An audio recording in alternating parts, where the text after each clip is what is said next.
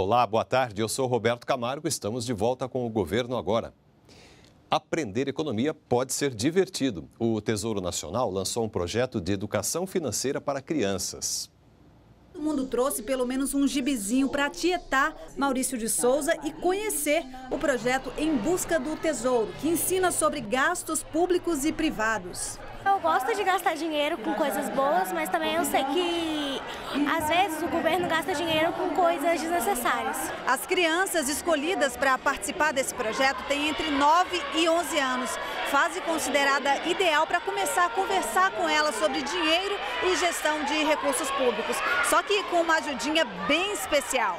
Cebolinha, Cascão, Mônica e Magali estão juntos nesse desafio.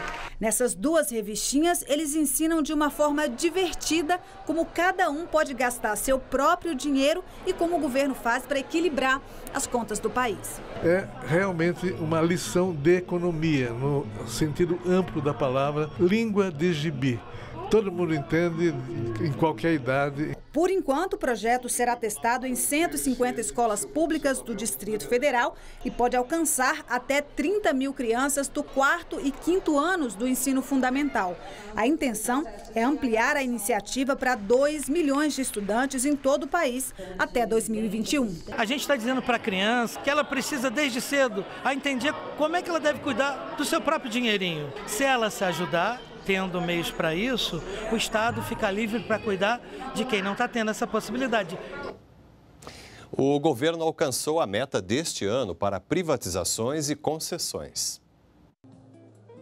Mais de 96 bilhões de reais este é o valor arrecadado até o mês passado com as desestatizações.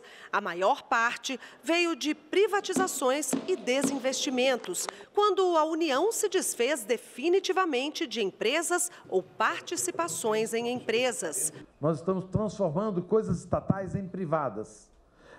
De forma que o mercado possa ser mais competitivo, estamos indo na direção de prestigiar uh, o mercado, a livre concorrência.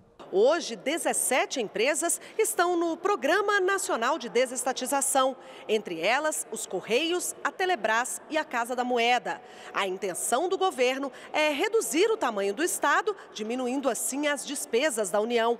O secretário especial de Desestatização disse que a Caixa, a Petrobras e o Banco do Brasil não devem ser privatizados no atual governo. De acordo com Salim Matar, a União participa de 637 empresas, direta ou indiretamente.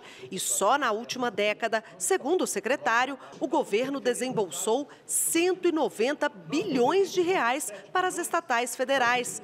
A maior parte dos recursos para cobrir o rombo de empresas públicas dependentes, que dão prejuízo. Nós precisamos reduzir o tamanho do Estado para que nós possamos focar na qualidade de vida de cada um cidadão desse país.